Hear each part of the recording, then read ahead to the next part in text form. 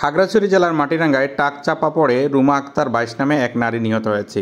শুক্রবার সকালে মাটিরাঙ্গা উপজেলার আমবাগান এলাকায় ট্রাককে পাশ কাটানোর সময় মাইন্ড থেকে ছিটকে পড়ে ট্রাকের চাকায় পিষ্ট হয়ে ওই নারী ঘটনাস্থলেই মারা যান। নিহত রুমা আক্তার মাটিরাঙ্গা উপজেলার আমতলী ইউনিয়নের করলাছড়ি পুরানবাজার এলাকা রোশন আলীর মেয়ে। তার স্বামীর বাড়ি নোয়াখালী জেলার সেনবাগ বলে জানিয়েছেন স্বজনরা। তার স্বামীর নাম মোহাম্মদ আবদুল্লাহ এবং তার এক বছর বয়সী একটি কন্যা সন্তান রয়েছেন।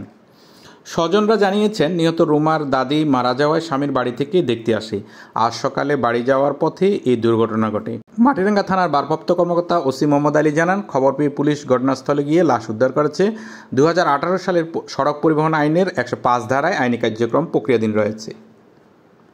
প্রিয় দর্শক, আপনি যদি আমার চ্যানেলে নতুন হয়ে থাকেন, সাবস্ক্রাইব করুন, লাইক, শেয়ার, কমেন্ট করে সঙ্গে থাকুন আপডেট তথ্য পেতে। News desk, Khagrachhari, today.